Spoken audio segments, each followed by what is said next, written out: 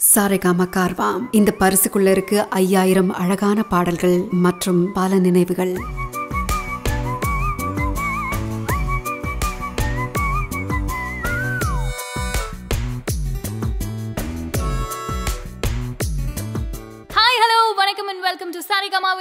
Classic radio show நான் உங்க அஜய் ஹாசினி இந்த வாரம் செம இன்ட்ரெஸ்டிங்கான சூப்பர் டூப்பர் ஹிட் கொடுக்கக்கூடிய கதாநாயகர்கள் ரெண்டு பேரை பற்றி தான் நான் இன்னைக்கு நம்மளுடைய நிகழ்ச்சியில் நிறைய அவங்களுடைய பாடலும் எடுத்து வச்சிருக்கேன். நிறைய விஷயங்களை அவங்கள பற்றி ஷேர் பண்ண போகிறேன் சரி அவங்க யார் அப்படின்றத நீங்கள் கண்டுபிடிக்கணும்ல? அதுக்கு முன்னாடி வார வாரம் இந்த நிகழ்ச்சியை நீங்கள் தொடர்ந்து நிறைய எபிசோட்ஸ் நீங்கள் கீழே என்ஜாய் பண்ணணும். ஆட்டோமேட்டிக்காக எனக்கு நோட்டிஃபிகேஷன் வரணும் அப்படின்னு நினச்சிங்கன்னா மறக்காமல் பெல் பட்டனை ப்ரெஸ் பண்ணுங்கள் சப்ஸ்கிரைப் பண்ணுங்கள் டு சாரே காமா தமிழ் இந்த யூடியூப் சேனலுக்கு முதல் கதாநாயகர் யார் அப்படின்னு கேட்டிங்கன்னா அவருடைய அப்பாவும் தமிழ் சினிமாவில் ஏற்கனவே வந்து ஒரு இயக்குனராக நிறையா படங்களில் ஒர்க் பண்ணியிருக்காரு படமும் எடுத்திருக்காருன்னு சொல்லி சொல்லலாம்.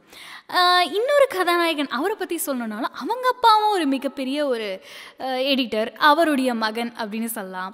அதே சமயத்தில் இந்த முதல் கதாநாயகனை பற்றி சொல்லணும் அப்படின்னா அவர் வந்து சின்ன வயசுலேருந்தே அவருடைய ஆக்டிங் கரியரில் ஸ்டார்ட் பண்ணி அவங்க அண்ணாவுடைய ஹெல்ப்போட இன்றைக்கி ஹாலிவுட் வரைக்கும் போய் நடிக்கக்கூடிய ஒரு மிகப்பெரிய ஒரு லெவலில் வளர்ந்துட்டு வராரு.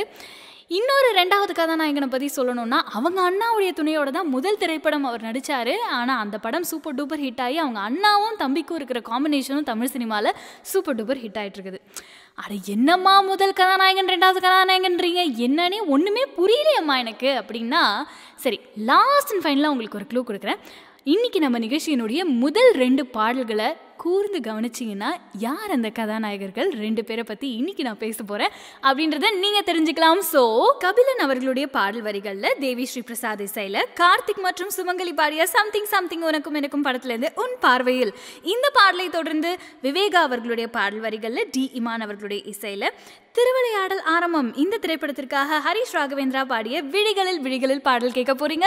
ஒன்லி ஆன் சரேகமாவின் வீக்கெண்ட் கிளாசிக் இந்த வாரம் சக்சஸ்ஃபுல்லான ரெண்டு சூப்பர் ஹீரோஸை பற்றி தான் இன்னைக்கு நம்மளுடைய நிகழ்ச்சி இருக்க போது அவங்க யாருங்கிறதுக்கு உண்டான க்ளூவை நான் உங்களுக்கு கொடுத்துட்டு கண்டுபிடிச்சிட்டு உடனே வந்துருங்க.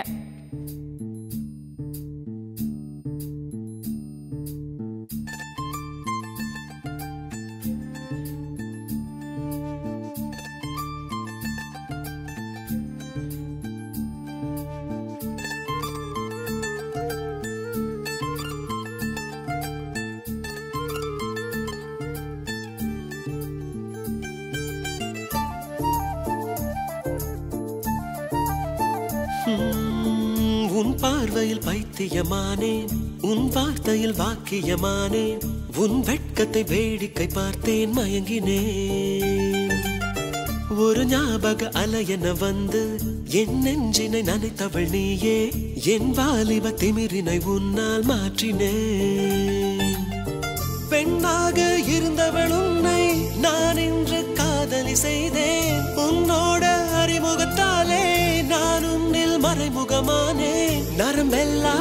せみたくれてなれ。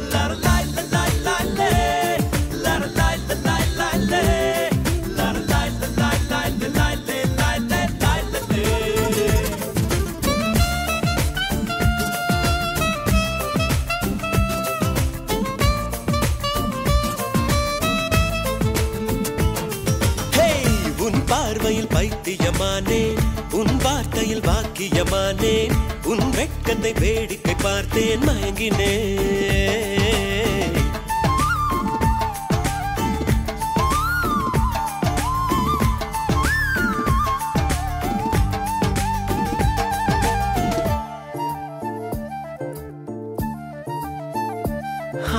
எது இதுவோ? எது இதுவோ? உன் மௌனம் சொல்கின்ற எழுத்தில்லா ஓசைகள் என்னென்று நான் சொல்லுவேன். இது அதுவோ? இது அதுவோ? சொல்லாத சொல்லுக்கு இல்லாத வார்த்தைக்கு ஏதேது அர்த்தங்களே பெண் தோழன் நான் ஆண் தோழி நீ நட்புக்குள் நம் காதல் வாழும்.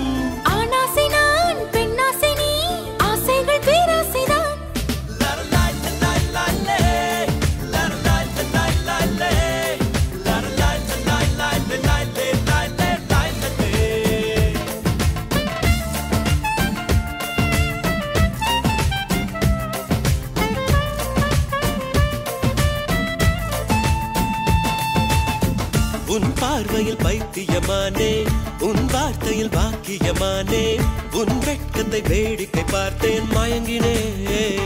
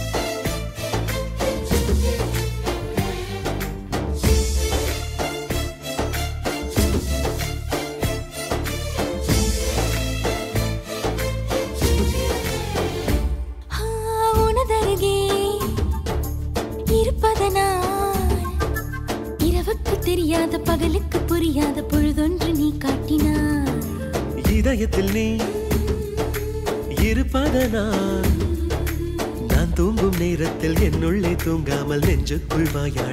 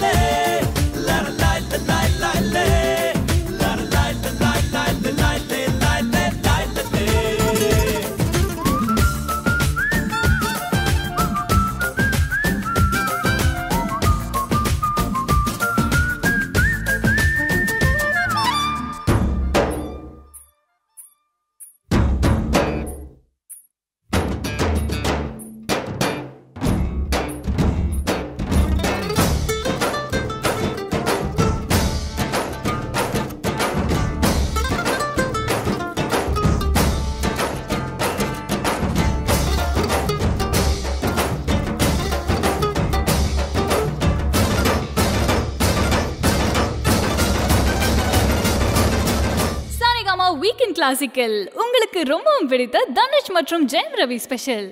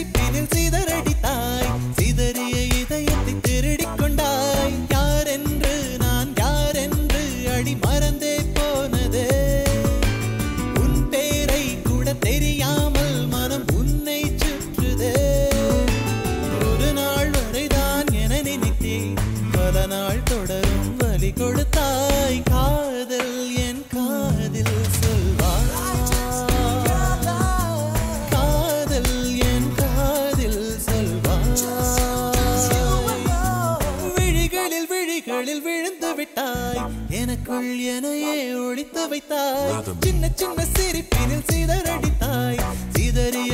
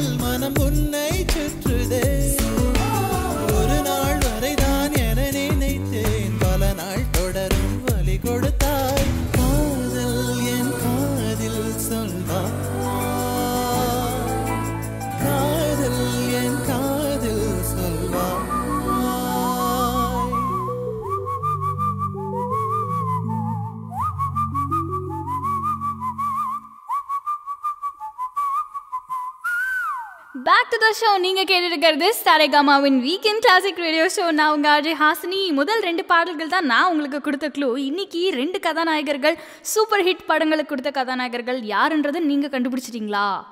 இல்லை அப்படின்னா பரவாயில்ல நானே ரிவீல் பண்ணிடுறேன். It's none other than super hit heroes Dhanush மற்றும் ஜெயம் ரவி ஸ்பெஷல் தான் இன்னைக்கு நம்ம நிகழ்ச்சியில். வெல் தனுஷ் அவர்களை பற்றி சொல்லணும் அப்படின்னா அவங்க அப்பா வந்து கஸ்தூர் ராஜா அவர்கள் நிறைய திரைப்படங்களை வந்து இயக்கியிருக்காரு. என் ப்ரொடியூஸும் பண்ணியிருக்காரு.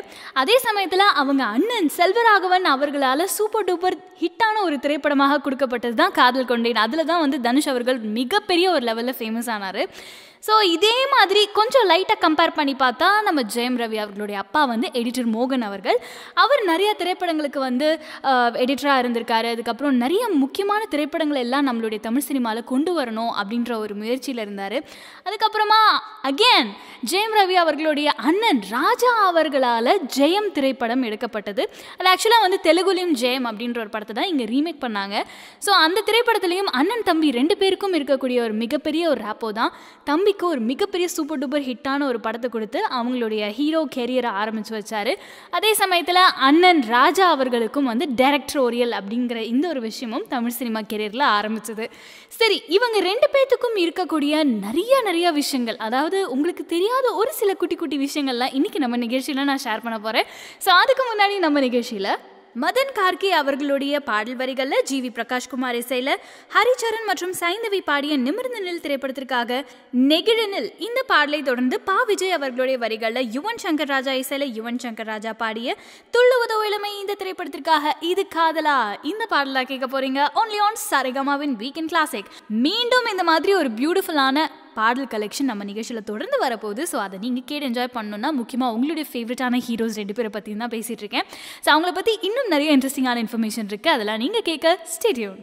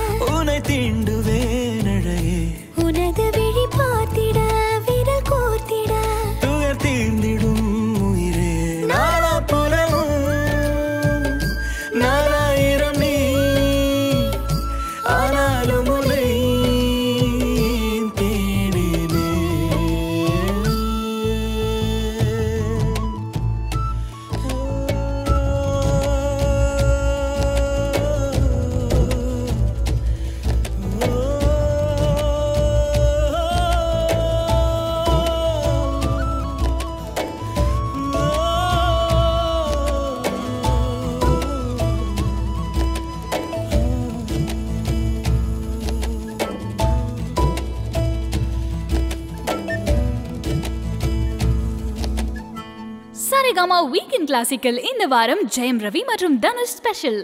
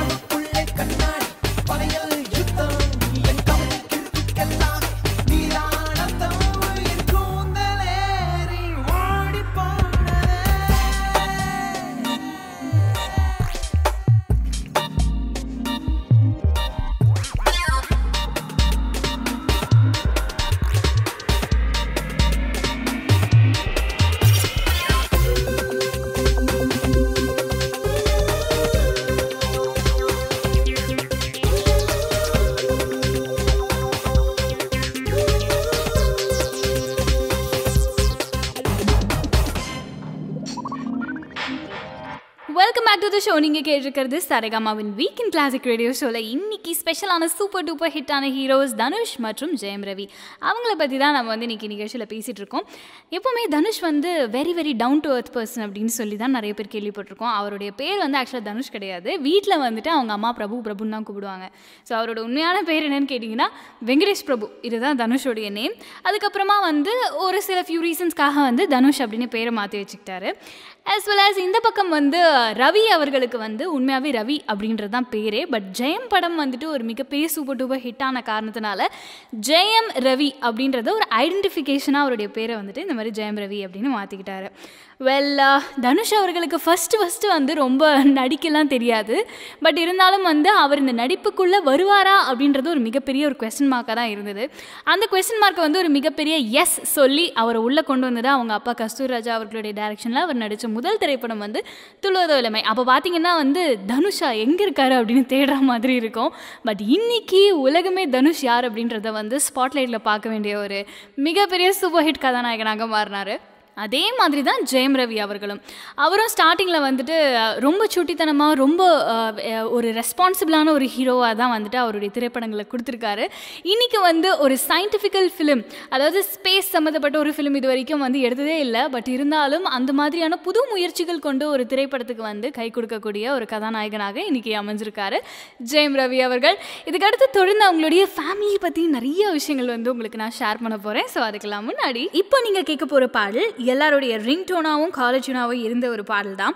உங்களுக்கு ரொம்பவும் பிடித்த இந்த பாடலை கேட்ட உடனே இவருடைய முகம் தான் உங்களுக்கு ஞாபகம் வரும். ஸோ அறிவுமதி அவர்களுடைய வரிகளில் ஆர்பி பட்நாயக் அவர்களுடைய சில ஆர்பி பட்நாயக் ஹரணி மாணிக்க விநாயகம் இவங்க பாடிய ஜெயம் திரைப்படத்திலிருந்து கவிதையே தெரியுமா? இந்த பாடலை தொடர்ந்து நா முத்துக்குமார் அவர்களுடைய வரிகளில் இமான் அவர்களுடைய இசையில் விஜயஸ்தாஸ் ரீட்டா பாடிய திருவிளையாடல் ஆரம்பம் படத்திலிருந்து கண்ணுக்குள் ஏதோ இந்த பாடலை கேட்க போறீங்க. தொடர்ந்து இதுக்கு அடுத்ததா பா விஜய் அவர்களுடைய பாடல் வரிகளில் தேவி ஸ்ரீ பிரசாத் இசையில் திப்பு அவர்கள் பாடிய சம்திங் சம்திங் உனக்கும் எனக்கும். இந்த படத்துலேருந்து சம்திங் சம்திங் இந்த பாடலை கேட்க போறீங்க. Only on Saregama weekend classic இந்த வாரம் சக்ஸஸ்ஃபுல்லான ஹீரோஸ் தனுஷ் மற்றும் ஜெயம் ரவி இவங்களுடைய ஸ்பெஷல்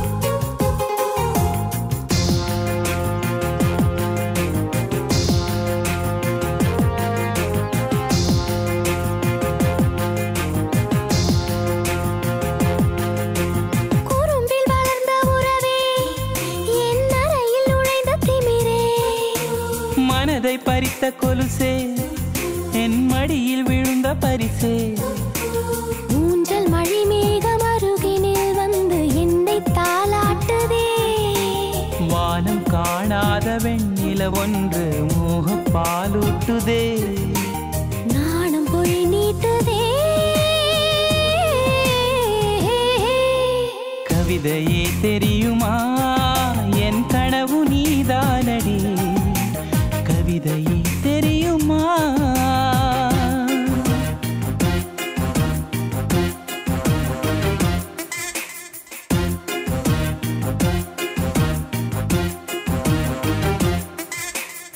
தத்திட தத்திமி தங்கிட தத்திமி தந்தானா? இதய ஒலியின் ஜதியில் எனது தில்லானா? தக்கிட்ட தத்திமி தங்கிட்ட தத்திமி தந்தானா? இதய ஒலியின் ஜதியில் எனது தில்லானா?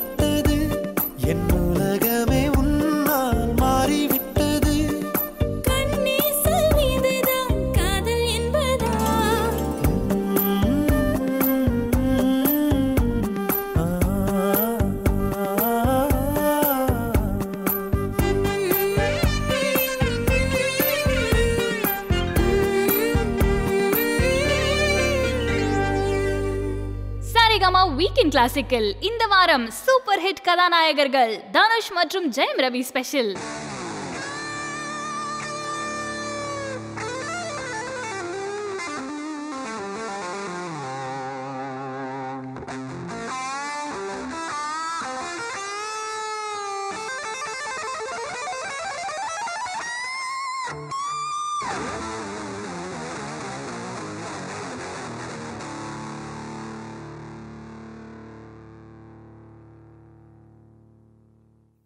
something, something, something, something.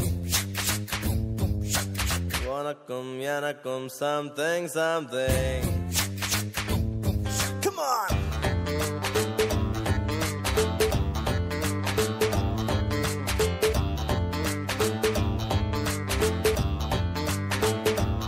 Hey, lap, dap, lap, dap, solemn something.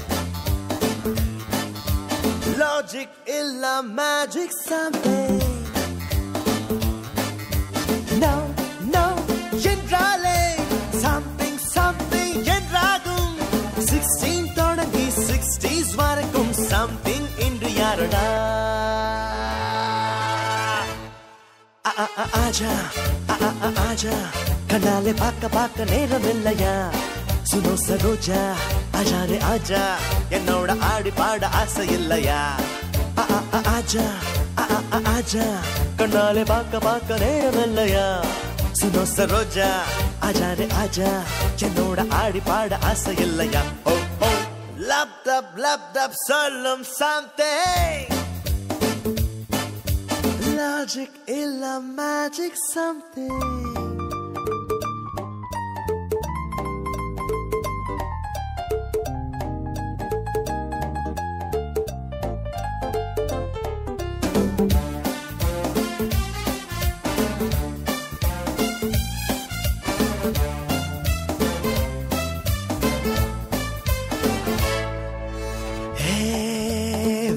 வெண்ணிலாவே உன் கைப்பிடிக்க நான் பார்த்திருக்கும் முதல் முகில் இதோ. சல்வார் சூடும் குட்டி தீவே உன்மேல் உன்மேல் வந்து வந்து மோதே மோதே தொட்டு செல்லும். அலை கடல் இதோ. எனக்கு மடக்கு எதுக்கு எதுக்கு உனக்கும் இருக்கு ஆசை. தனக்கு தனக்கு வயசு துடிக்குதே. படாஸ் என்று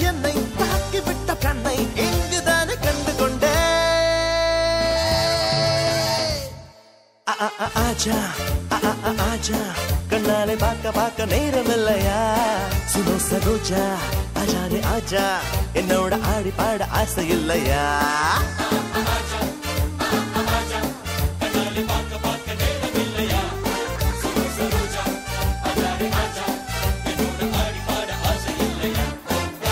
Laptop, laptop, சொல்லும் something. Logic illa magic something.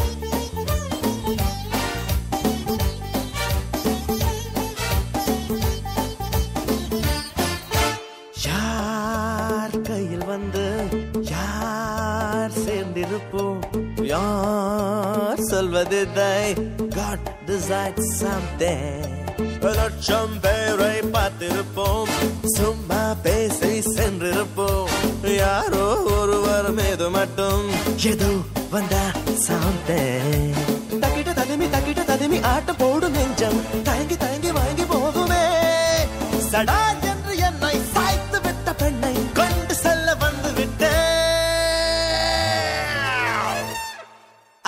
ஆஜா கண்ணாலே பார்க்க பார்க்க நேரம் இல்லையா சுனோ சரோஜா ஆஜா ஆஜா என்னோட ஆடி பாட ஆசை இல்லையா?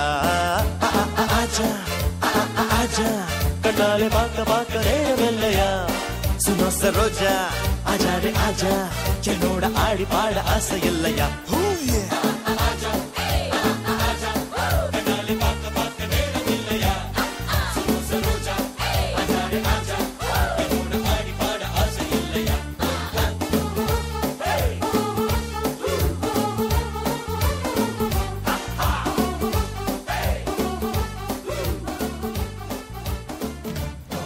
ஷோ நீங்க கேட்டுருக்கிறது சரேகாமாவின் சாரேகாமாவின் வீக்கெண்ட் கிளாசிக் ரேடியோ ஷோ நான் உங்க ஆர்ஜி ஹாசினி இன்னைக்கு நம்ம சூப்பர் ஹிட் கதாநாயகர்கள் தனுஷ் மற்றும் ஜெயம் ரவி அவர்களை பற்றி தான் ஸ்பெஷலான நிகழ்ச்சி. பட் இவங்க ரெண்டு பேரையும் வந்து எந்த வகையிலும் கம்பேரே பண்ண முடியாது. பிகாஸ் ஒவ்வொருத்தங்களும் ஒரு ஒரு விதமான ஒரு யுனிக்கான ஹீரோஸ் நம்ம தமிழ் சினிமா இண்டஸ்ட்ரியில் ஆனால் தனுஷ் அவர்களுக்கு வந்து கொடுக்கப்பட்ட ஒரு விஷயம் என்னன்னு கேட்டிங்கன்னா அவருக்கு டைரக்ஷன் பண்ணுறது ரொம்ப ரொம்ப பிடிக்கும். பட் ஒரு சில சூழ்நிலைகள் காரணத்தினால அவங்க அண்ணன் டைரக்ட் பண்ணார். அதுக்கப்புறமா அவன் அந்த படத்தில் அவர் நடிக்க ஆரம்பித்தார் ஸோ அவருடைய ஃபர்ஸ்ட்டு ஃபர்ஸ்ட்டு வாதியார் யாருன்னு கேட்டிங்கன்னா அவங்களுடைய அண்ணன் தான்.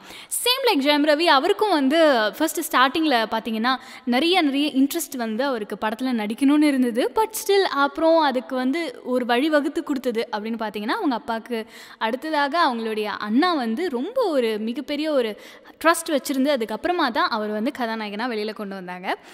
இதுக்கு அடுத்ததாக தனுஷ் அவர்களை பற்றி சொல்லணும் அப்படின்னா he became a lyricist producer writer இன்னும் நிறைய விஷயங்கள் ஒரு ஒரு டேரக்டர்கிட்டேருந்து கற்றுக்க கற்றுக்க நிறைய விஷயங்களை வந்து அவர் பண்ண ஆரம்பித்தார் but way through Jayam Ravi அவர்களை பற்றி பார்த்தோம் அப்படின்னா அவருக்கு கொடுக்கப்பட்ட ஒரு சில விஷயங்களை மட்டும் அதை கையாண்டுட்டு அதில் பர்ஃபெக்டாக என்ன பண்ண முடியுமோ அதை பண்ணிகிட்ருக்காரு வெற்றிகரமாக. ஸோ இந்த மாதிரி கம்பேரிசன்ஸ் இருந்தாலும் பர்சனல் லைஃப் அப்படின்னு சொல்லி சொல்லும்பொழுது தனுஷ் அவர்களுக்கு அவங்க அம்மா அப்பா தென் செல்வராகவன் அவங்களுடைய அண்ணா அதுக்கப்புறம் அவங்களுடைய சிஸ்டர்ஸ் எல்லாம் இருக்காங்க. ஸோ ரொம்ப க்ளோஸ் டு ஹார்ட் அவங்க ஃபேமிலியில் யாருன்னு பார்த்தீங்கன்னா தனுஷ் அவர்களுக்கு அவங்க அம்மா தான். All time favourite super mummy அவங்க. பயங்கர சப்போர்ட்டிவான ஒரு மதர் அண்ணா வந்து ஒரு டீச்சர் அப்பா வந்துட்டு ஒரு மிகப்பெரிய ஒரு எக்ஸ்பீரியன்ஸான ஒரு பர்சன் ஸோ இப்படியெல்லாம் இருக்கும்பொழுது தனுஷ் அவர்களுக்கு வந்து எந்த நாளுமே வந்து அவங்களுடைய அம்மா கிட்டேயோ இல்லை எனி டைம் அவங்க அம்மா கிட்ட வந்து பேசாமல் இருக்கக்கூடிய நாட்கள் எல்லாமே வந்து ரொம்ப டென்ஸ்டான ஒரு நாட்கள் அப்படின்னு சொல்லலாம். So when compare to Jayam Ravi அவர்களும் சரி அவங்க அப்பா கூட ரொம்பவும் ஃபேமிலி அப்படின்னு சொல்லி சொல்லும்பொழுது ஒரு நல்ல மகனாக எல்லாருக்கும் அவங்க அப்பாக்கும் சரி அவங்க அம்மாக்கும் சரி அதே சமயத்தில் ஒரு நல்ல பிரதர் தென் நல்ல ஒரு ஹஸ்பண்ட் அண்ட் நல்ல ஒரு ஃபாதராக கம்ப்ளீட்லி வந்து டிரான்ஸ்ஃபார்ம் ஆகி இருக்கிறாரு அப்படின்னு தான் சொல்லி சொல்லலாம். ஆனால் ஒரு சில சீக்ரெட்ஸ் ரெண்டு பேத்துக்குள்ளே இருக்கக்கூடிய ஒரு கம்பேரிசன்ஸ் என்னன்னு பார்த்தீங்கன்னா அது ரொம்ப டிஃப்ரெண்ட்டாக இருக்கும். Dhanush is a pure vegetarian இது எல்லாருக்குமே வந்து ரொம்ப அதிர்ச்சியாக தான் இருக்கும். At the same time Jayam Ravi அவர்கள் பார்த்தீங்கன்னா கம்ப்ளீட்லி கான்ட்ராஸ்ட் பயங்கர நான் வெஜிடேரியன் அதே மாதிரி வீட்டில் நடக்கக்கூடிய ஒரு சில சுட்டித்தனமான விஷயங்கள் எல்லாமே வந்து ஒரு சூப்பர் எக்ஸ்பீரியன்ஸ் அவங்களுக்கு நான் ஷேர் பண்ண போகிறேன் ஸோ அதெல்லாம் கேட்கறதுக்கு முன்னாடி வெல் இப்போ நீங்கள் கேட்க போகிற பாடல் எல்லாருக்குமே ரொம்ப ஃபேவரட்டான ஒரு பாட்டு. பட் என்னுடைய ஃபேவரட்டான நம்பரும் கூட பா விஜய் அவர்களுடைய வரிகளில் யுவன் சங்கர் ராஜா இசையமைப்பில் வெங்கட் பிரபு சித்ரா சிவராமன் இவங்க பாடிய துளுவதோ இளமை திரைப்படத்திற்காக நெருப்பு கூத்தடிக்குது. இந்த பாடல் வந்து நம்மளுடைய டீனேஜ் டைமில் எல்லா ஸ்கூல்ஸ்லேயும் சரி ஃபேர்வெல் டைம்லேயும் சரி கல்ச்சுரல் டைம்லேயும் சரி இந்த பாடலை கேட்காதவங்க யாருமே இருக்க முடியாது. இதுக்கு அடுத்ததாக பழனி பாரதி அவர்களுடைய பாடல் வரிகளில் ஆர்பி பட்நாயக் அவருடைய இசையில் விஜய் எஸ் அவர்கள் பாடிய ஜெயம் திரைப்படத்திற்காக கோடி கோடி மின்னல்கள் இந்த பாடலை கேட்க போகிறீங்க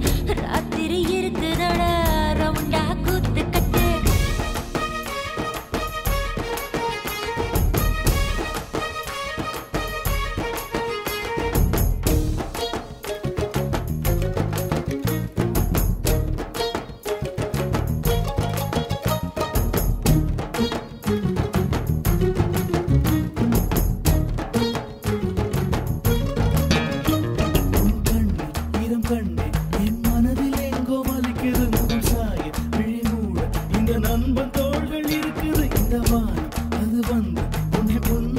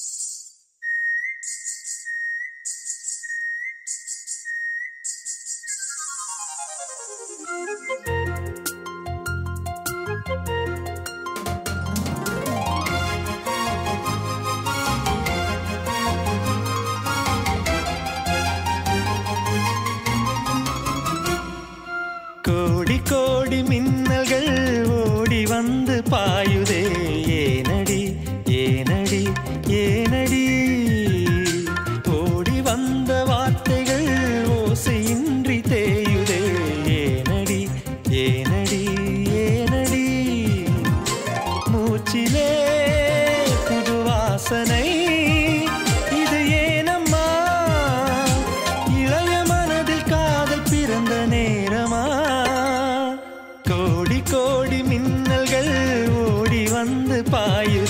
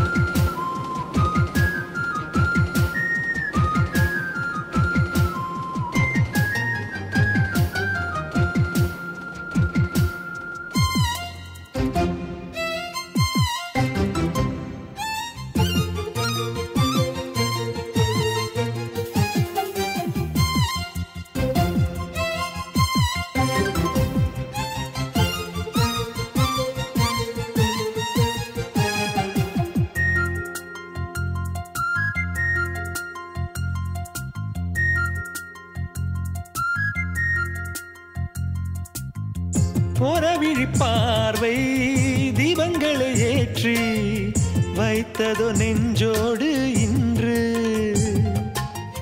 தென்றல் என வந்து தொட்டு சென்ற காதல் கலந்ததோ மூச்சோடு இன்று. காதல் என்னும் வார்த்தை அது வார்த்தை அல்ல வாழ்க்கை. வாழ்ந்து பார்த்து நீ சொல்லம்மா.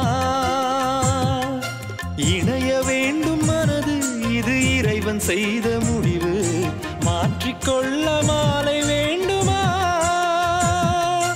கோடி கோடி மின்னல்கள் ஓடி வந்து பாயுதே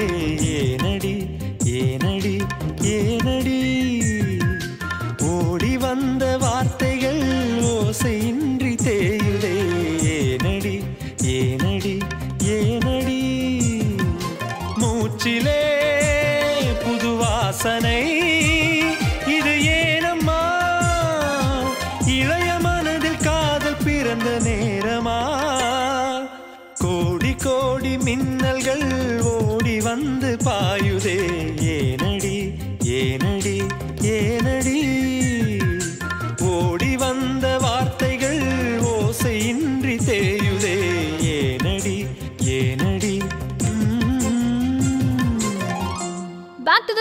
ஷோ கேட்டுட்டு இருக்கிறது சரிகமாவின் வீக்கெண்ட் கிளாசிக்ல இன்னைக்கு சூப்பர் டூப்பரான ஹிட் கொடுத்த கதாநாயகர்கள் தனுஷ் மற்றும் ஜெயம் ரவி அவங்கள பத்தி தான் பேசிட்டு இருக்கோம். வெல் தனுஷ் இது வரைக்கும் எல்லா படத்துலயும் பாத்தீங்கன்னா பயங்கர ஒல்லியா பயங்கரமா வந்து அவருடைய உடம்புலாம் மெயின்டைன் பண்றாரு அப்படின்னா that's pure and pure he's a vegetarian அவங்க அம்மாவுடைய கை பக்குவத்தில் இருக்கக்கூடிய சமையலை சாப்பிட்டா தான் அவருக்கு வந்து ரொம்ப திருப்திகரமாக டைம் ஸ்பெண்ட் பண்ண மாதிரியே ஒரு ஃபீல் இருக்கும். ஸோ அதனால் definitely he will never spare his mother இதுக்கு அடுத்ததாக ஜெயம் ரவி அவர்கள் வந்து ஒரு கம்ப்ளீட்டான ஒரு ஃபேமிலி மேன் அவங்கவுங்களுக்கு உண்டான ரோலை கரெக்டாக வந்து அவர் பிளேஸ் பண்ணிடுறாரு அப்படின்னு சொல்லலாம். And he's a pure non vegetarian பயங்கரமாக தூங்குவாராம். அவரை வந்து எழுப்புறது ரொம்ப ரொம்ப கஷ்டம் அப்படின்னு சொல்லி அவங்க ஒய்ஃபே ஒரு சில இன்டர்வியூஸில் சொல்லியிருக்காங்க. அதனாலேயே அவங்க ரெண்டு பசங்களை வந்துட்டு லைட் போட்டுட்டு ரூமில் லைட் போட்டுட்டு ரெண்டு பசங்களையும் உள்ளே விட்டுட்டு எப்படியாவது அப்பா எழுப்பி வெளில கூட்டு வந்துருங்கடா அப்படின்னு சொல்லி சொல்லிடுவாங்க போல இருக்கு. ஜெயம் ரவி அவர்களுக்கு ஒரு மிகப்பெரிய ஒரு பொறுப்பு இருக்குது அப்படின்றது தான் சொல்லலாம். எப்படின்னா அவங்க அப்பா அவர்களை பற்றி யோசிக்கும் போது அவங்க அப்பா வந்து ஒரு அழகான விஷயத்த சொல்லுவாராம். எப்படின்னா இந்த கெரியர் அப்படிங்கிறது வந்து ஒரு ரிலே ரேஸ் மாதிரி தான். எப்படின்னா என்கிட்ட இருக்கக்கூடிய ஒரு விஷயத்த உங்கள் அண்ணா வாங்கினாரு உங்கள் அண்ணாக்கு அடுத்து தான் நீ. ஸோ இந்த மாதிரி அதுக்கு அடுத்தது உன்னுடைய பையன். ஸோ அதனால் இந்த ரிலே அப்படின்ற ஒரு விஷயம் வந்து சினிமாக்குள்ளே இருக்கும் பொழுது அதனுடைய தழுவல்களில் நான் என்ன ஒரு விஷயத்த வந்து ஒரு சயின்டிஃபிக்கான ஒரு ஃபிலிமோ ஒரு டிஃப்ரெண்ட்டாக கைண்டான ஒரு ஃபிலிம் வந்துட்டு தமிழ் சினிமாவில் வரணும் அப்படின்னு நினச்சது எல்லாமே பார்த்தீங்கன்னா அவங்களுடைய பசங்கள் மூலமாக புதுசு புதுசான கதைகள் வெளிவர ஆரம்பிச்சது.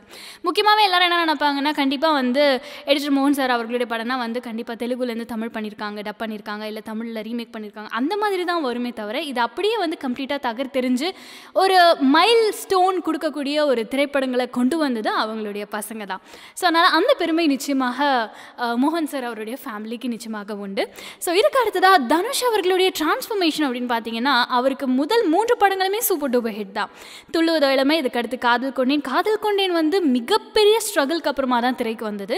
அதுக்கப்புறமா திருடா திருடி இந்த மாதிரி கமர்ஷியல் ஹிட்ஸாக கொடுத்த இந்த படங்களுக்கெல்லாம் தாண்டி இன்னைக்கு வந்து ஒரு பாலிவுட்டில் கால் பறித்து அதுக்கடுத்து ஹாலிவுட்லேயும் ஒரு மிகப்பெரிய ஒரு திரைப்படம் பண்ணிட்டு இருக்காரு நிறைய அவார்ட்ஸும் வாங்கியிருக்காரு.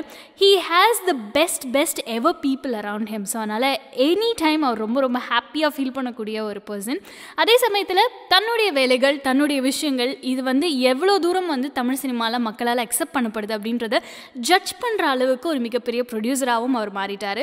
ஸோ அதனால் இவ்வளோ விஷயங்களை கையாண்டாலும் simplicity is the best best ever thing for Dhanush அப்படின்னு சொல்லலாம். அண்ட் ஜெயம் ரவி சாரை பற்றி சொல்லணும்னா he is too friendly he is very very friendly with people அவங்க கூட இருக்கிறவங்கள சந்தோஷமாக வச்சுக்கணும் அப்படின்றதுல வந்து ரொம்ப முக்கியத்துவம் கொடுக்கக்கூடிய ஒரு கதாநாயகனாக இருக்காங்க. இனி வரைக்கும் நிறைய திரைப்படங்கள் தனுஷ் அவர்களோடது சூப்பர் டூப ஹிட்டான திரைப்படங்களை சொல்லலாம். அதே மாதிரி ஜெயம் ரவி அவர்களுக்கும் சூப்பர் டூப ஹிட்டான படங்கள். ஜெயம் சந்தோஷ் சுப்ரமணியன் தனி ஒருவன் இந்த மாதிரி நிறைய படங்கள் சொல்லிட்டே போகலாம் ரோமியோ ஜூலியட் வந்து ஓரளவுக்கு போகிறனாலும் பட் கண்டென்ட் ஆஃப் த ஃபிலிமில் சூஸ் பண்ணுறதுல ஸ்கிரிப்ட் சூஸ் பண்ணுறதுல ரொம்ப ரொம்ப ரொம்ப கண்ணும் கருத்துமாக இருக்கக்கூடியவர் ஜெயம் ரவி அப்படின்னு சொல்லலாம். அண்ட் இன்னைக்கு நம்மளுடைய நிகழ்ச்சியில் இவங்களை பற்றின ஒரு சீக்ரெட்டான நிறைய விஷயங்கள்லாம் நீங்கள் தெரிஞ்சுக்கிட்டீங்க அப்படின்னு நினைக்கிறேன். ஸோ அடுத்த வாரம் கண்டிப்பாக நம்மளுடைய நிகழ்ச்சியில் இன்னொரு ஒரு சூப்பரான ரெண்டு பேரை பற்றி நான் அவங்கக்கிட்ட சொல்ல போகிறேன் வெல் நம்ம நிகழ்ச்சியில் நிறைவு பாடலாக ஒரு பியூட்டிஃபுல்லான நம்பர் கபிலன் அவர்களுடைய பாடல் வரிகளை ஜிவி பிரகாஷ்குமார் இசையில் ஜாவத் அலி சாஷா மற்றும் ஜிவி பிரகாஷ்குமார் பாடிய நிமிர்ந்த நெல் திரைப்படத்திற்காக காதல் நேர்கையில் இந்த பாடலோட நம்ம நிகழ்ச்சி இன்னைக்கு நிறைவடையுது. இன்னைக்கு பியூட்டிஃபுல்லான நிறைய memories and as well as உங்களுடைய ஃபேவரட் ஸ்டாரை பற்றின நிறைய விஷயங்கள் நான் ஷேர் பண்ணிக்கிட்டேன். நினைக்கிறேன். ஸோ நீங்களும் உங்களுடைய ஃபேவரட்டான ஆர்டிஸ்ட்டை பற்றின ஒரு நிகழ்ச்சி வரணும்னு ஆசைப்பட்டீங்கன்னா கமெண்ட் செக்ஷனில் போய் தாராளமாக கமெண்ட் பண்ணலாம். அதுக்கு முன்னாடி வார வாரம் இந்த நிகழ்ச்சியை நீங்கள் தொடர்ந்து நிறைய எபிசோட்ஸ் நீங்கள் கீழே என்ஜாய் பண்ணணும். ஆட்டோமேட்டிக்காக எனக்கு நோட்டிஃபிகேஷன் வரணும் அப்படின்னு நினச்சிங்கன்னா மறக்காமல் பெல் பட்டனை ப்ரெஸ் பண்ணுங்கள் சப்ஸ்கிரைப் பண்ணுங்கள் டு சாரே காமா தமிழ் இந்த யூடியூப் சேனலுக்கு மீண்டும் அடுத்த வாரம் இன்னும் ஒரு நிகழ்ச்சியில் வந்து உங்களை வந்து சந்திக்கிறேன். அதுவரை உங்களிடமிருந்து விடைபெறுவது உங்கள் ஹாசினி.